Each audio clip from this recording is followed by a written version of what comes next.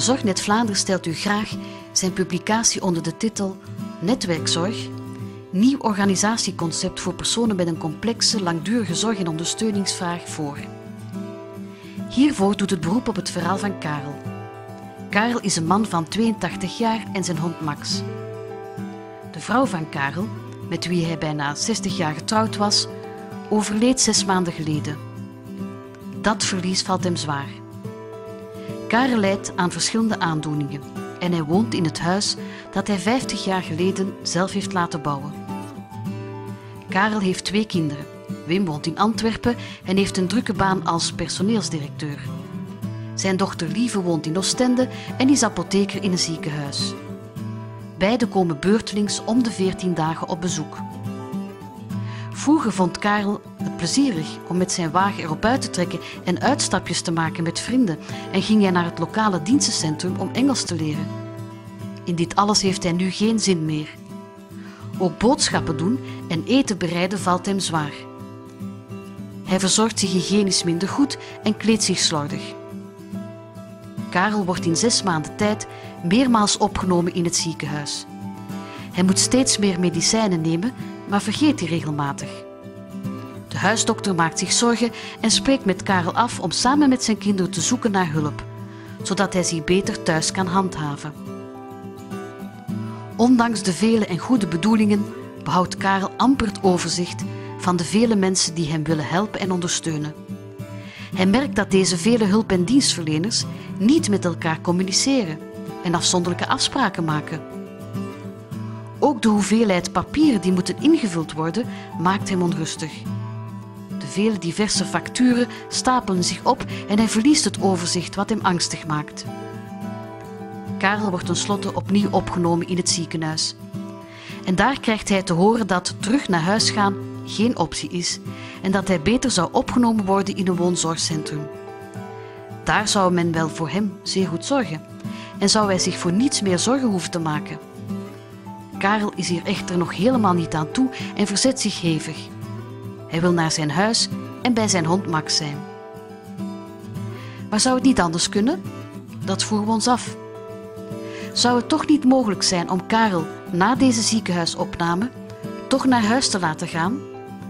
Maar dan met het engagement van alle zorg- en dienstverleners om de zorg rond Karel anders te organiseren? Wat als we de zorg- en dienstverlening rond Karel zouden organiseren vanuit een netwerk?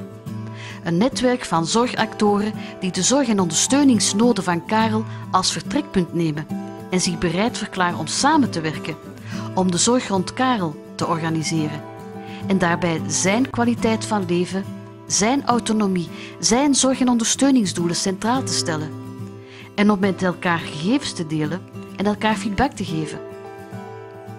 Karel kan hierbij ondersteund worden door een zorgcoach, die voor eerst nagaat of en hoe Karel de regie van zijn eigen leven en zorg zelf in handen kan houden.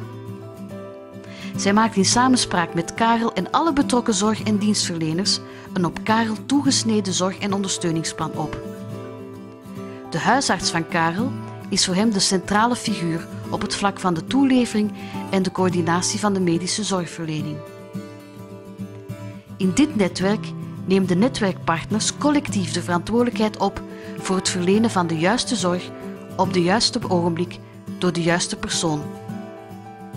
Samen verklaren ze zich bereid om de complexiteit van de zorgsituatie van Karel onder de loepen te nemen, te benaderen en te managen. De netwerkpartners beseffen zeer goed dat ze niet alleen elk afzonderlijk, maar ook samen deze netwerkzorg samenstellen en verlenen. En dat ieder er een deel expertise en verantwoordelijkheid in heeft. Om netwerkzorg in goede banen te leiden, is het belangrijk dat alle netwerkpartners met de neuzen in dezelfde richting kijken en enkele fundamentele uitgangspunten onderschrijven. De bouwstenen van het netwerk voor langdurige zorg en ondersteuning worden omschreven als functies, pijlers en voorwaarden.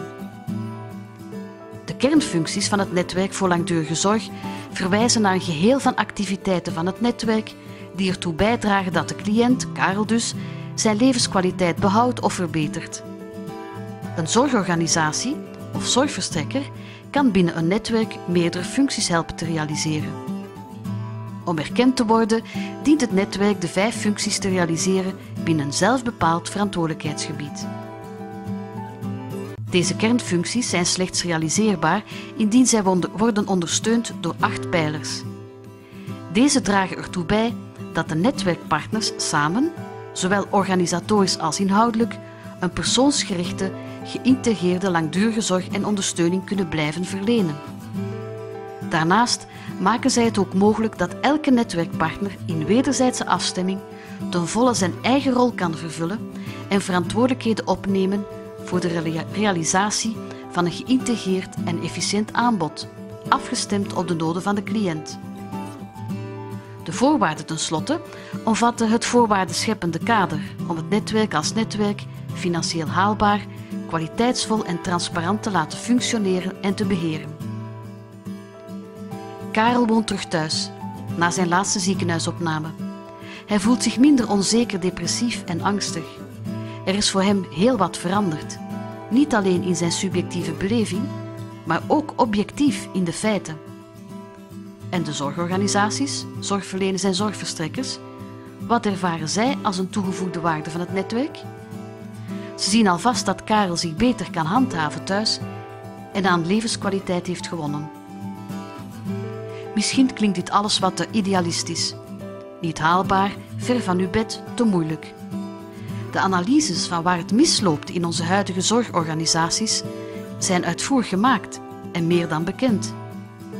In een ideaal scenario zouden we een volledig nieuw zorgorganisatiestructuur kunnen opzetten, zonder rekening te moeten houden met historiek, met de belangen die spelen of met de afwezigheid van een sense of urgency. De realiteit ziet er echter anders uit en de noodzakelijke paradigma-shift zal waargemaakt moeten worden binnen het bestaande en gekende zorgorganisatielandschap.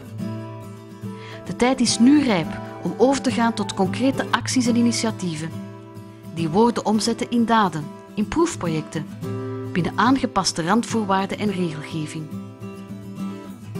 Zorgnet Vlaanderen hoopt met dit nieuwe boek het gesprek over de toekomstige organisatie van de complexe langdurige zorg en ondersteuning een inspirerende voorzet te geven. Voor Zorgnet Vlaanderen is één zaak alvast heel duidelijk. Persoonsgerichte, geïntegreerde langdurige zorg en ondersteuning is zeker de toekomst.